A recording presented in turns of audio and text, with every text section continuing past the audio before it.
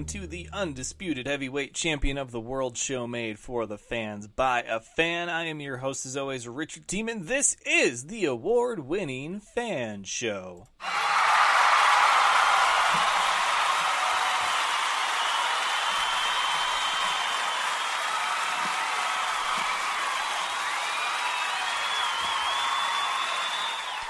Thank you, thank you, thank you, thank you, thank you. It is Thursday here, which means one thing that this is our last episode of the week before yet another action packed weekend. And we do have just that. It is week six of the NFL. And of course, we have college football that continues on, hockey, basketball. I mean, really, uh, and baseball. It's funny. Uh, I was a guest on the Social Hour podcast Monday night. Uh, I went after Brees uh, broke the record, but it was uh, funny because we both, uh, Dees Casillas and myself, the the host, uh, he we both came to the agreement that a lot of people think that like springtime is like the best time of the year because they've got uh, like pitchers reporting and then the training camp starts and March Madness and basketball and hockey wrapping up, and then football's got like I think the the combine at that time, and so the countdown to to kickoff is officially begun. But I I would argue that October is probably the single greatest month or, or time of year out there it, because a, a, few things. I mean, yes, fall is depressing. Okay, uh, we can get that out of the way. And for those of you just like, oh, but o- October, it, it's fall is my favorite season and we only get two here down in in the southern areas. Okay well we get like two up here in the north. Technically we're supposed to get all four but we really don't. We get winter and construction. Uh, the rest is really hit or miss you know? Uh, you're playing the odds at that point my friend. But those of you that are just fall's my favorite how dare you call it depressing? It is depressing! What is fall? It's it's a countdown! Fall is a countdown. Here's a few things that happen in fall, just to give you some perspective. Um, September, which is the end of summer, okay, uh, but is also uh, the beginning of fall. Okay, so it's that kind of you're you're on the fence there, you're teetering, you're toting the line. Um, September, school starts back up again. Okay, that's depressing. I mean, unless you're one of those weird students that gets super stoked about school, which if you're a college student, yeah, going back to school might be like, yeah, yeah, dorm rooms, frat houses, parties, football. So, it, it, okay, you can argue that. But to my argument, school starts. That's depressing, right? Um, if you're one of the unlucky ones where you don't look forward to school, so that happens in the fall. Uh, the days they get shorter starting in the fall. Uh, that that's all they do up until the point where it flips back the other way and they start getting longer. But that doesn't happen until what after December, January, and then that's when there's a new year. Uh, fall also means that we are three quarters of the way through the calendar year. So now we're counting down to the end of a year and we're about to start a new one which means all of us are about to get another year older.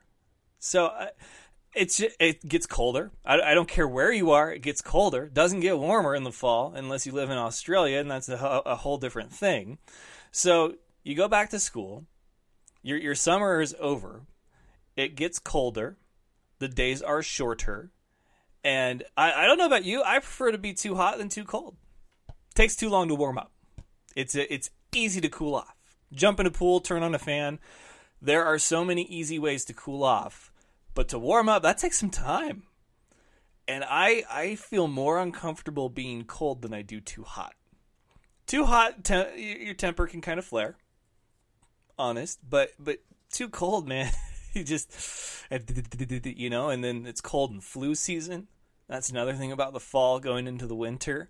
Um, fall leads into the winter and the end of the year. So fall is beautiful because the leaves change and they fall and the scenery and if you're in an area that has all four seasons, fall is a great season. But to my point as far as it being the most depressing season out there, why are the leaves changing? Because they're dying. and then they're dead and they fall because they're dead. Like it's just there is no season more depressing than fall. I'll argue with anybody. As spring, everything's growing, getting ready to bloom, and being born. That's when you have all the little uh, ducklings and the the deer, the fawns, you know, and the the calves and everything. It's like spring. Spring is great. Like I don't think you could say a, a single bad thing about spring except for oh, it's getting warmer. Really? Sure about that? Because I'm pretty sure when it's warmer, you don't have to chip away at the frost on your uh, windshield for your car. If you live in one of those states, that happens here. Winter also, uh, fall and winter suck because the changing of the seasons happen. Uh, I mean, you can start your day with the heater on and end it with the AC on, or you can go, you can change it even a few times throughout like an eight hour time span. You can wake up, drive to work with your heater on. You can go to lunch and have your AC on. You can drive home and toggle between the two. You can have it be like, ooh, it's it's nice and and warm in my car. I'm going to turn the AC on while I drive home. And then as you're driving, sun will go down or already be down and it will be too cold. Now you've got to turn your heat back on. That's Spokane weather. That's that's Pacific Northwest weather. Rains unpredictably. I do love a good thunderstorm. That is one of the things that fall does have going on for it uh, from time to time. Spring has that too. But if you if you have allergies, fall sucks because you spent three months of the most consistent time of the year where it's hot, maybe it's humid or it's dry, whatever, but there's not a, a, lot of variable, right? Like you don't go from hot to cold from day to night or really anything. It's always warm. So those of you that have like pollen allergies, like I feel you because that's, you know, it's more of a springtime thing. But so you spend three months of consistent weather, fall rolls around and now it's toggling back and forth. What's it going to do? What's it going to do? And so if you have allergies like I do, this time of the year sucks because even when you get better, you never feel 100% until the next summer. Because if your allergies flare up, you're more susceptible to get a cold or a flu. It's, it's miserable. So, this is that most depressing time of the year but in the smack dab middle of all of it is October, which I would say, as a sports fan, is the best month of the year. Hockey starting up again, basketball getting ready to start, football is underway, baseball is finally wrapping up, thank God, 160 games later. Um, so you have baseball playoffs, right? You have NFL in its regular season, hockey and basketball getting ready to start. I mean, I just don't think that there's a better time in the world of sports than the month of October. I really don't. And uh, it's just the the irony. The greatest month happens during the worst season. so that's our that's our opener right there for the fan show. Is that uh, I really do have a love hate relationship with October, and if you do, hit, hit, hit me up. Let let me hear your opinion. Is October the best month, and is fall the worst season? Uh, because I believe it is. Uh, tonight we got a great show for you. We're going to do fan versus fan show pick'em. Jordan Endries is going to join me, uh, formerly of the uh, Green Bay Blizzard. Will he be back in Green Bay? We can talk about that. But uh, he's a kicker. I love my kickers, and I sent him some fan show gear, so we'll see if he has uh, received that and if he likes it. And then we'll talk about his Packers, my Niners, because they do play on Monday Night Football. But let's go ahead and do our our formalities here and get this thing started off right with today's headlines.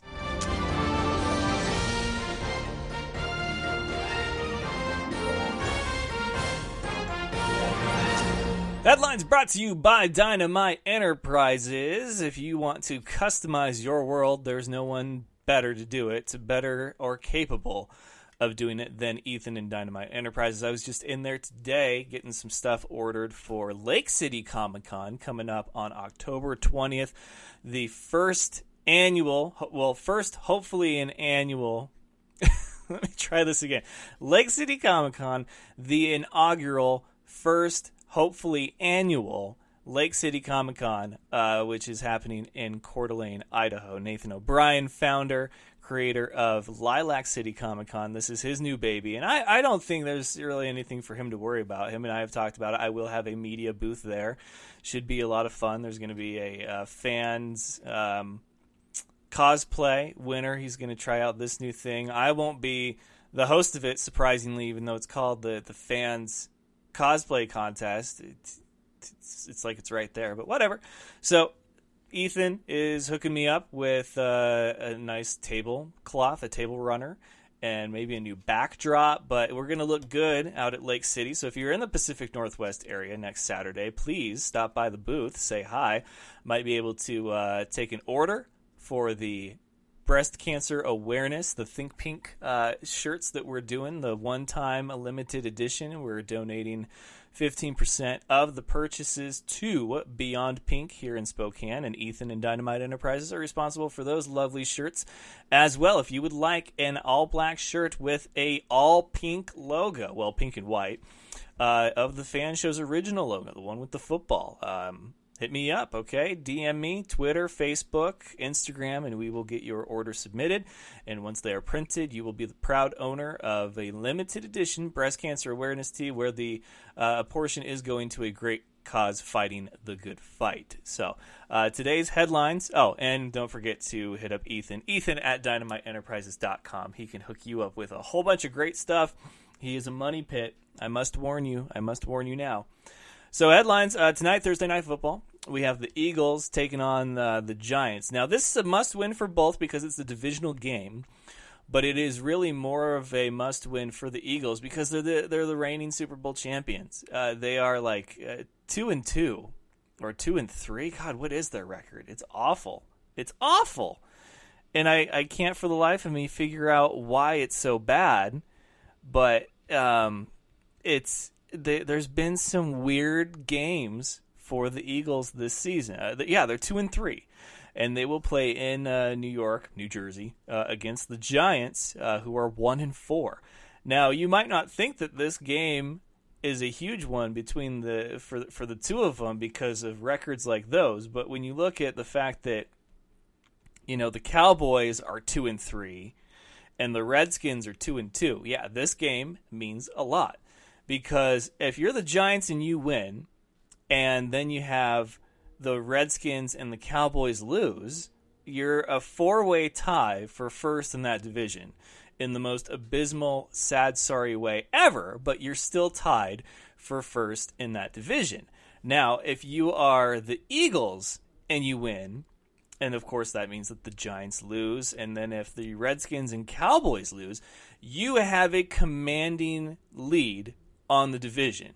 And as the reigning Super Bowl champion, that's kind of a big deal. You want to get back to the the Super Bowl, at least the postseason, just to prove that it wasn't a fluke and that you can overcome Super Bowl hangover, as they call it. So this game is big for both of them. If you're the Giants and you lose this one, you're pretty much done.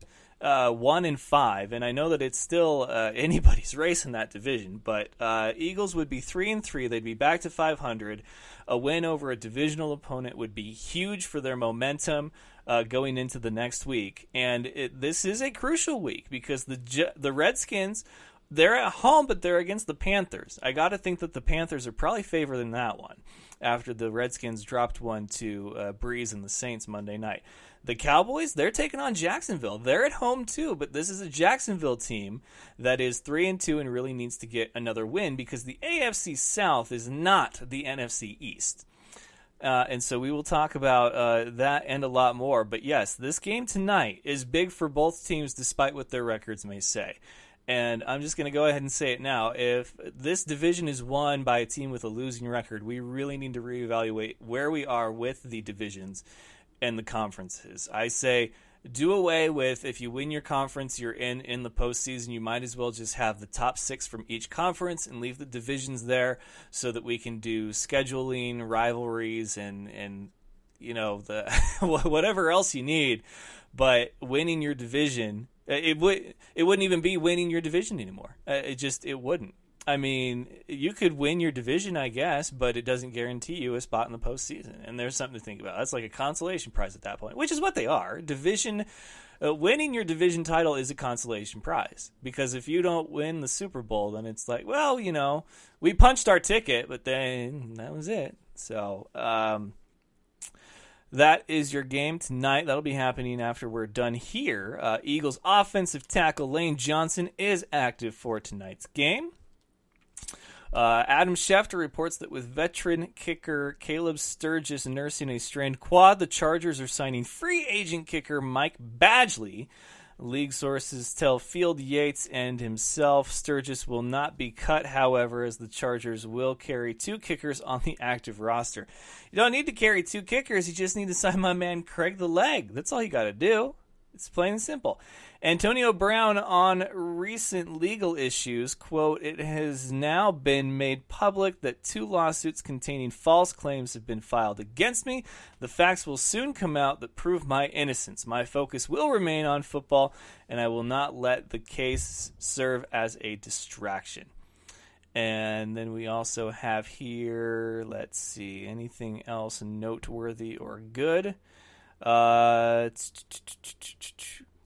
Eagles and Giants tonight. Should be noted that no team in the NFC East is currently above 500. Let's say just frickin' said that.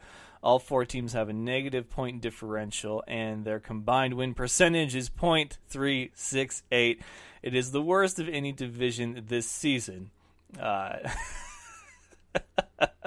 it's the division with the Cowboys. I gotta love that. I really do. Uh, Rams head coach Sean McVay on Greg Zuerlein. He's probably another week away. I thought Cairo Santos did a nice job last week. Last thing you want to do is rush them back where they could potentially have a setback. Confidence we have in Cairo enables us to be patient. Uh, no practice today for Rams wide receivers Cooks or Kupp who suffered concussions in Seattle. We hope that they have a speedy recovery, especially Mr. Cooper Kupp. Uh, Eastern will take on Weber State this weekend in a big matchup because they are currently five and one. Weber was the thorn in their side last season, as Weber did what only few teams have done, which is beat them on the red turf. So Eastern will be looking to return that favor this weekend. Kickoff, I believe, is around noon, and uh, that one. Um, it's going to be a good one. I'm very excited for for that. We had Coach uh, Cherokee Valeria on the show earlier this week. That was a lot of fun. Uh, the San Diego Fleet, the San Diego team from the AAF, the American uh, Alliance of Football, Alliance of American Football. Uh, they have signed as their offensive coordinator uh, former NFL quarterback Jon Kitna. He'll be doing the offensive play calling and he is under head coach Mike Martz. So that's going to be very offensively minded team. I believe the uh, is it the Atlanta Legends, the Legends team, the ones with uh, Lakers colors, purple and gold. Uh, they have head coach Brad Childress and offensive coordinator Mike Vick. So there are some notable names for the AAF. This is the one league like it that I would really pay attention to if you're somebody that is considering an alternative to the NFL uh, as a player or as a fan. The XFL as well, but this this league is really starting to turn heads and make waves, and good on them, good for them. So that's going to do it for your headlines. I'm going to go round up our guest tonight, Jordan Endries, and we're going to talk about these matchups and more when we come back with more of the Fan Show after this. You're listening to the Fan Show, your home for all things football and nonsense. My special guest tonight Farouk, Farouk, welcome. He's no expert, but here's the thing. Football and nonsense is what he brings. Sports talk with a twist. It's the Fan Show! Do you know him as Kevin from the League? It is none other than very funny Steve Rannazzisi. 99% of the population doesn't know who I am, but the 1% do. They yell and scream inappropriate things at me in public. Kyle Ray. Kyle, welcome. And I was like, wow, I think we just saw the whole Super Bowl, Phyllis. it's like that scene in The Simpsons. Like, why rent the movie? I just saw the best part. Funny man Brad Williams. Yeah, I'm here. I mean, no, I flew in just for your podcast. I've heard about this podcast. I've heard it's fantastic. It's Mac and Farva, but they are my special guests tonight. Steve Lemme, Kevin Heffernan. I was in Mexico for 10 weeks in a Speedo. Like, that's, uh, that, that was me going to work. I was putting on a Speedo. Like Farva is the most fun to play, and it was a blast to do that again, to do Farva again. So then the makeup artist had to put Vaseline on your body, Yeah, right? yeah. and then put the powdered sugar on top of that. Is your name really Richard Siemens? Listen live every Tuesday, Wednesday, and Thursday night on Spreaker.com or subscribe to the podcast on iTunes and SoundCloud. All right, ladies and gentlemen, we are back. Joining me now, very busy man, very active man, which we always love here on the show. He is uh, one of my favorite players out there in the league of the indoor game. Jordan Endries, how you doing, man? Doing pretty good, man. Doing pretty good. How are you? Doing good. You get everything, the hat, the shirt. We were able to wear it and sport it for a little bit. Yeah, I'm actually wearing a hat right now. I got a got a game in two hours and be wearing it tonight too. So, What league are you playing in right now? This is summer league. uh, uh, no, it's just a just a flag league around here. So. Gotcha. Okay, okay. Well, doing good work though, staying active. Do you know where you're going to end up next season? uh, no, I don't. Uh, sending out film, just hearing back, getting feedback. So, Well, it's a waiting game and it sucks. I'll tell you that right now. And I'm trying to, you know, get all my kickers out there signed somewhere. Apparently, the Chargers uh, just brought on a, a kicker whose name I've never heard before, and it wasn't one of you guys. So failure uh, by uh, L.A., which they have a lot of lately. But uh, you know, when it comes to the kicking game, and you see these guys you know, it's almost like it's a habit for them to miss. Now, okay, we can excuse Mason Crosby because he's Mason Crosby. He can have a bad game. That doesn't make him immune uh, from or exempt from winning the the Butt Fumble Award, which he did last night. But um, when you have a guy that their name is like synonymous with not performing well either at all or in pressure situations. So kickers and game-winning kicks or just field goals in general. Like, is that? Have you been there, done that, or is that just something that it's like you know maybe they should seek another profession? no, I've uh, I, I've been in those situations. I've been, I mean, in Crosby's situation, I, there was a championship game I was in last year where I was I was in during the whole game, and then the pressure situation came. And luckily, that was the last kick of the game, kind of like Crosby. I threw him in there out of faith, and I made it. I mean, it was it's one of those things that even though you're struggling during the game, you you got to make sure that your team has your back, keeps building you up. So it's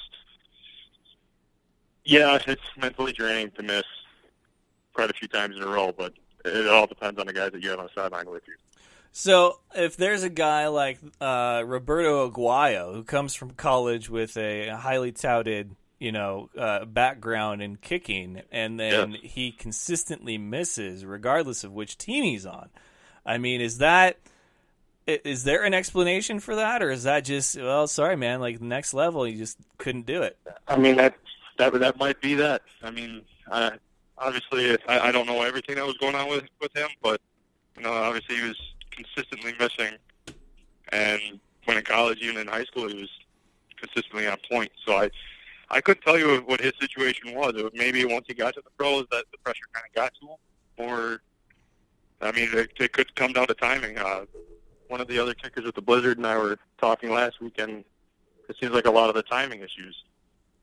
Uh, it could be a lot with the timing issues with, with the 1.2 seconds that you have from the snap to get the kickoff. So you, you never know what what could be playing a factor with that. That's very true. A lot of the kickers I've talked to on the show, they say, you know, it's not just us. You know, we got to have a, a good snapper and a good holder, and that communication's got to be pretty much on point. But you guys practice with them, right, to make sure that you've got your rhythm down. Yep. Yeah, yeah, we do. But I mean, there's there's also factors that we can't control. I mean, there might be an injury to the long snapper. There might be an injury to the, the holder, even if if it's not a punter. But uh, when it comes down to it, we we still have a job at the end of the day, and that's the through the uprights. Yeah, yeah. Very true. I'm glad that you get it though, um, and uh, I do wish the best for Mason Crosby. I don't think it's anything worth cutting him over. I think he just had a bad, a really, really bad game. But you're a Packers fan. I'm a Niners fan. They play Monday night, so I wanted to have you on so that we could play fan versus fan show pick'em, but also because I wanted to tell you why my Niners are going to beat your Packers on Monday night. So um, I'm- I'm glad that you could join me for this discussion. no problem. Uh, your Packers, look, uh, my Niners are bad, but there is something going on with your Packers right now that I think should concern a lot of people because in in the world of football, when it's no longer a game or two that separates you from the top dog, and now you're playing catch up with the Chicago Bears and you lost to the Lions and tied with the Vikings. Like this is not a good look for an Aaron Rodgers led team. And granted, it's not all on him, but my God, you could convince me otherwise when he gets sidelined in the first half against Chicago and then comes out and single handedly, single leggedly, if that's even a thing, beats the Bears like only Aaron Rodgers can do. Like, what is going on with this pack team? Uh, I, I couldn't even tell you, man. It's, it's mental mistakes, de- defensive missing assignments, receivers dropping balls.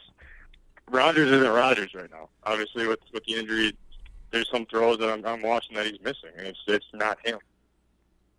But uh, yeah, I, I couldn't tell you, man. It's a whole whole mess of things that's going on, and hopefully they can straighten it up. In your mind, as someone who's played the game and you know a coach's strategy and player receiver relationships, why aren't we seeing more from Jimmy Graham? Because it seems like in a time of uncertainty with your receivers, he'd be the most trusted hands out there. And he's a tight end, and he's a gigantic one at that. He's probably the next best to Gronk. I, I that's also something I really couldn't couldn't answer. I mean, I was at the pre, couple preseason games and Jimmy Graham was getting really active. I'm guessing now that uh, the regular season started, he's a little bit more of a threat. So defenses are focusing on him a little bit more. So maybe that's it. Maybe Rodgers doesn't have the. He's got the time. The whole line's doing a really good job, but I, I couldn't tell you, man.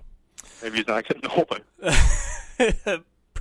possibly, possibly. You just stick him on the goal line and throw it up, and he's the one that Yep. comes down with it. That's that's how Brees used to do it.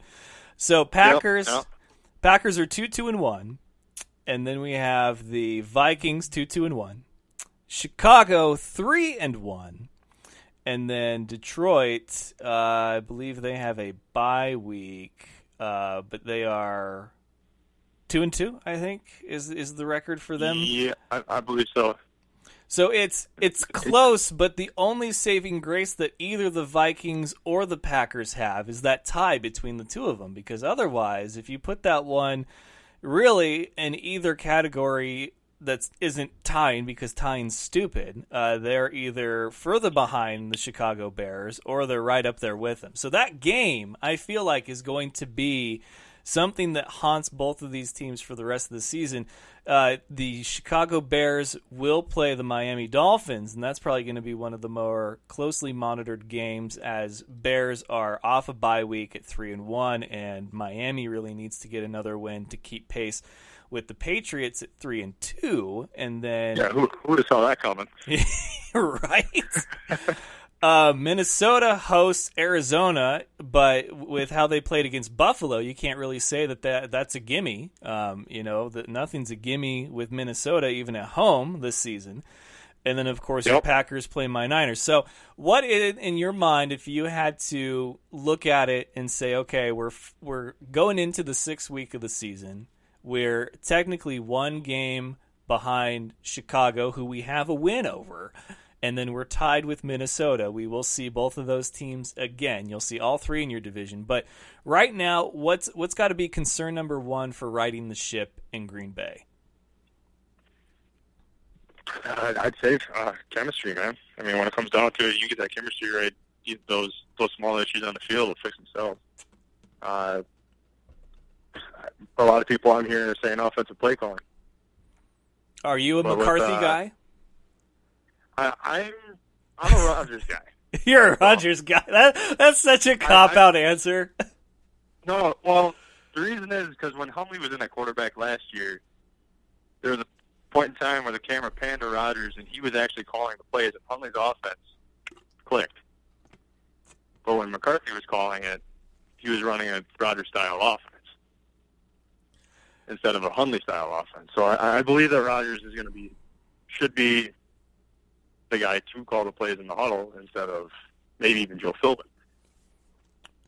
Fair point, because I've had this conversation with Packer fans before. Uh, last year, before the season started, uh, a lot of people were upset that Mike McCarthy still had a job, and I said, "Let me tell you right now," and and this was, uh, of course, right after San Francisco made the the Shanahan hire, and there was a lot of question marks around that. But I said, you know, my team, my team is coming from uh, a Jim Tomsula, Chip Kelly tandem of, of back-to-back horrid seasons.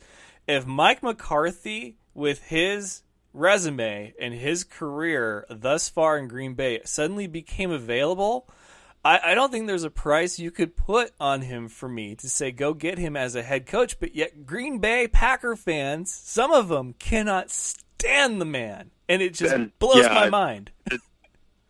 I, I agree. I mean, he, he's a really good at I won't say developing talent, but he's got that uh, bring them in while they're young and grow 'em attitude, and I agree with that. So you think But uh, maybe a scout then, or like a coordinator, not a head coach though. I, I don't know. I, I like I do like him as a head coach. Obviously, with with what he's done in his career, I uh, I wouldn't want him to go anywhere else. But at the same time, in the last couple of years, it's it has been a little bit shaky. Yeah, I, I will I will wholeheartedly agree with that. So we will we will come back to your Packers and Niners in a little bit. There's a fun game here that I play on the show each week with a new person called Fan versus Fan Show Pick'em. Put five games out there. We pick winners and losers. There's no point spread. There's no over unders. It's straight up winners and losers. I haven't done too well for myself. I think I'm one and three at this point in the season, or even one and four. I don't know. It's something terrible, and so I'm trying to get right here. So the first game that you and I are going to pick, and as my guest, you get first first choice of who you're going to pick, and that is when the Pittsburgh Steelers go on the road against the Cincinnati Bengals. Steelers two two and one on the bottom, looking up at the four and one Bengals. Who would have thought? 2018 Week Six. Well, my best friend would kill me if I don't pick them, so I'm going to go with the Bengals. You're gonna go with the Bengals. You know, this is a game that the Bengals should win because they're at home and they've been playing great football, even with the injuries to guys like Eifert and uh, uh, one of their other receivers. It's next man up, and they've done very well. Uh, the Steelers have a tendency, though, that when it looks like the chips are down, they actually end up winning. Now, I think that there's a lot more going on with this team than just failure to execute out on the field. I, I honestly think that maybe Tomlin is losing the locker room. But if that's the case, he's on the hot seat. He's playing for his job right now. And if you're going to have the same record as the Browns and you're against a divisional opponent, you need to win, even if it's on the road. So I will take the Steelers in this one. And um, All right. I, I think that if, if the Steelers lose, man, there there's going to be a come to Jesus talk next week. I'm telling you right now. I don't know if somehow Pete Carroll and Mike Tomlin are fired before Jason Garrett. There's something seriously wrong in the world of football. Um, I'll just I'll just say that right now. um, the next game, then, this one we uh, previously mentioned. Chicago three and one coming off a bye week to take on Miami three and two in Miami, but Miami needs this win to keep pace with the Patriots, which it seems like is the story every year. And Chicago would definitely like to keep at least a one game lead on the rest of the division because, well, it, the, it's the NFC North and nothing's easy in that division. Uh, so I, I choose them. Yeah. I'm going to swallow my pride, and I'm going to have to pick the Bears. Oh, oof, yeah. Um, I I love Khalil Mack. I really do. That that Yep. that Yeah, man he- is something special. changed that team. And and it's crazy because I've never once thought that one player in the game of football could could change a, a team so much, especially on the defensive side. But my God, that that unit with his presence is something special. I will take the Bears as well. Uh, they're one of my few road wins uh, this week, but yeah, that's one that the the Bears need uh, in, in hopes that you know even if all the other NFC North teams win, uh, Lions being on a bye, so they can't win or lose.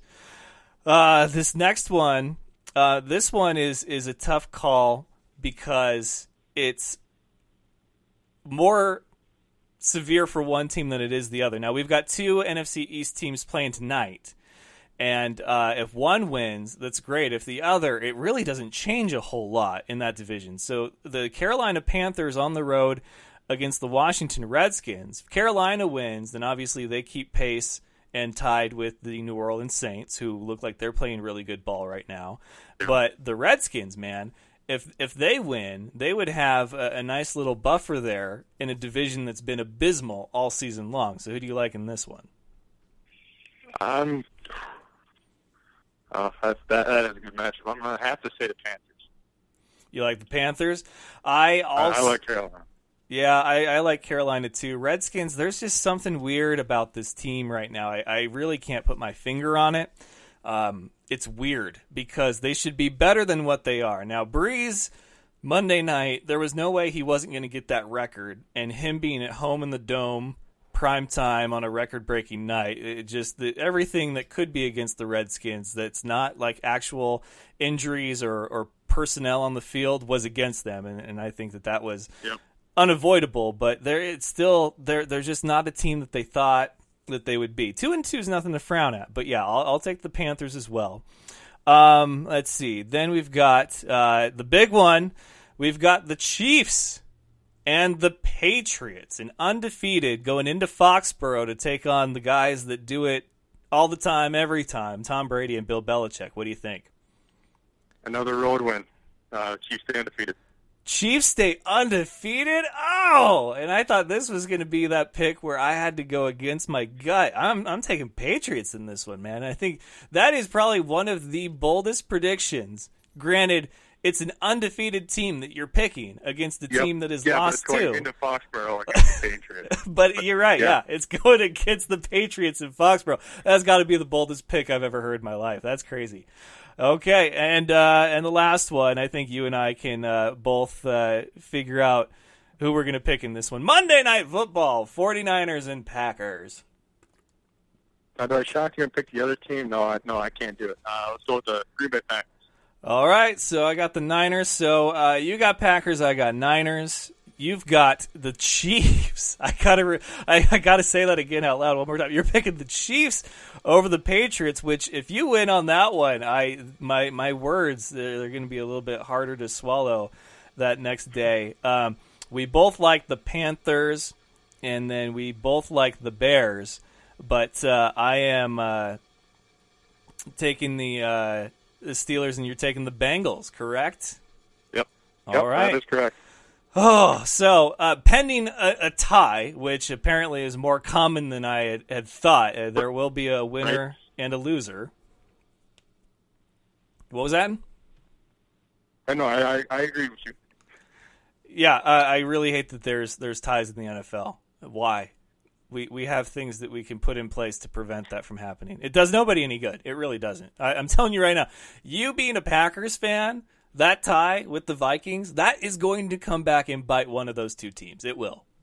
And I'm pretty sure everybody, like we we have a uh, house really close to Lambeau Field, and everybody in the house even said this game is going to come back to haunt one of our teams. Yep.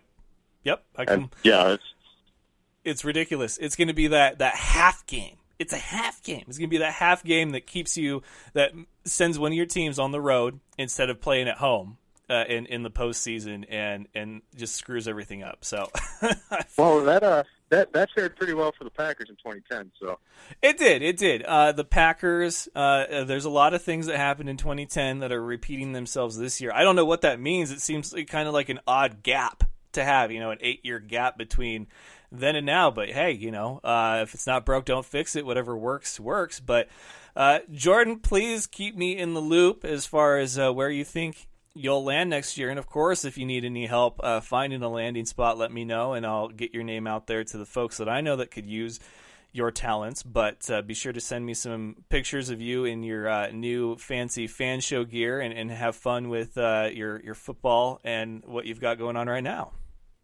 I definitely will. Thank you very much for having me on, man. Absolutely, dude. It's a pleasure as always. You take care of yourself. Tell everybody I said hello, and we'll uh, we'll see. I'll talk to you probably all day Sunday, and then Monday night a lot of trash talk, and then we'll see uh, who came out on top. But hey, you take care of yourself. You have a good rest of your night. You too. Go Pack, go. Go back, go. That's where I hang up. that was Jordan Endries of the Indoor Football League, or uh, who knows? Maybe he could be in the NAL. Hopefully not the CIF. I'd hate to see that happen to him. Um, yeah, uh, there's. Uh, what's what's the best way to preface this? What's the best way to say this? There's there's things that come with doing media and, and covering sports teams leagues and there are certain things that i am willing to uh, put aside while I do my job and conduct myself with a certain level of professionalism. But the caveat with that, though, is that I am my own boss until further notice, until a league or a team picks me up. And maybe with things like this, uh, they're less likely to. I, I look, and until somebody tells me I'm doing it wrong, I'm going to keep doing it my way because it seems right. but uh, there are certain things that I will not simply put aside because I I do not agree with them at all.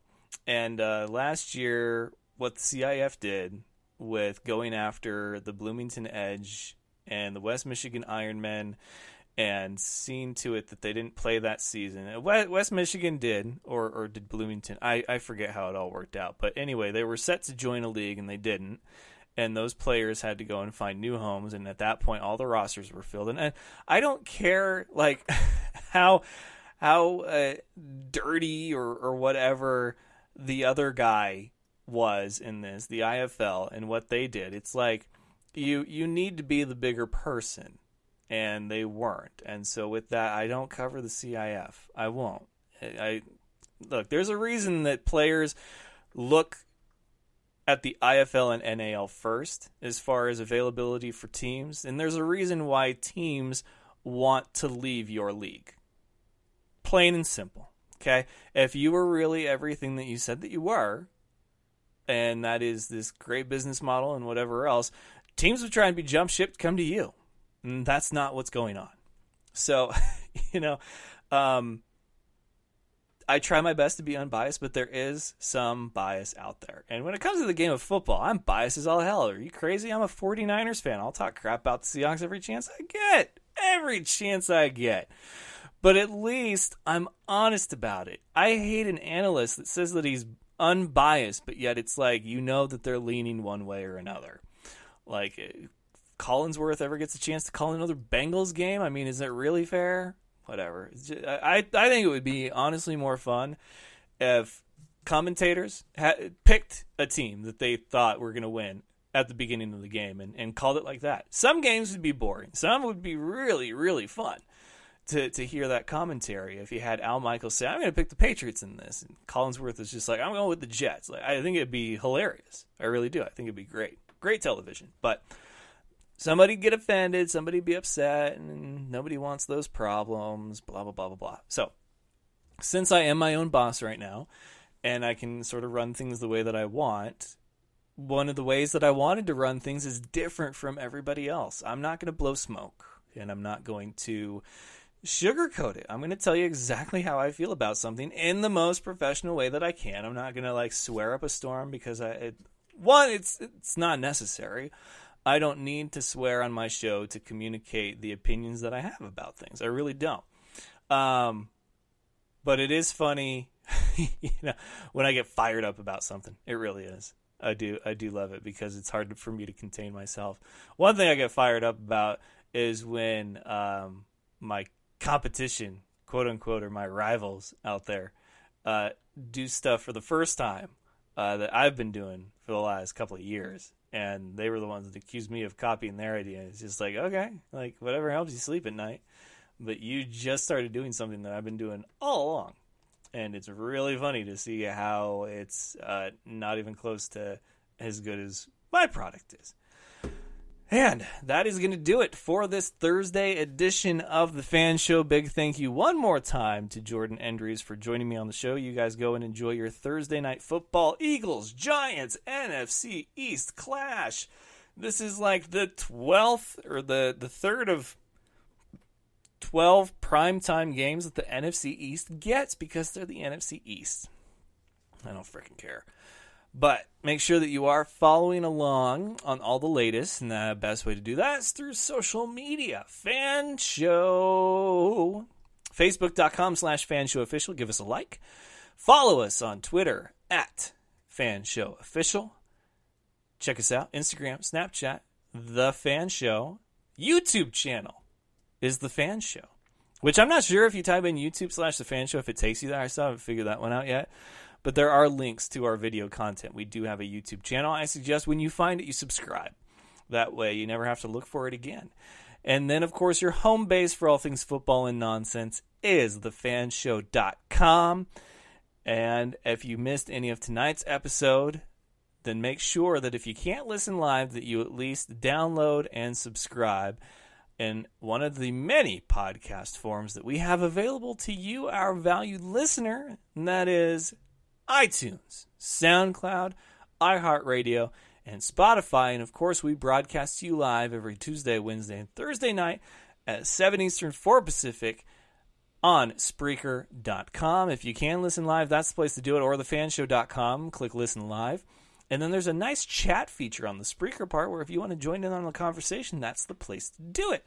Check out Indy's Barbershop at 711 North Monroe Street. Get a quality haircut and a hot towel shave.